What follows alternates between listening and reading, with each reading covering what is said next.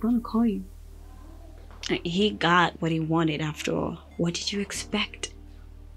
See, I told you nobody wants you. But you thought you were special. he probably has another girlfriend. Poor you. Okay, girl. It was a mistake. Just one mistake. It doesn't count. I mean, so much. I mean, people do a lot worse. And, okay. Seriously, don't feel bad. Or maybe you should, a little.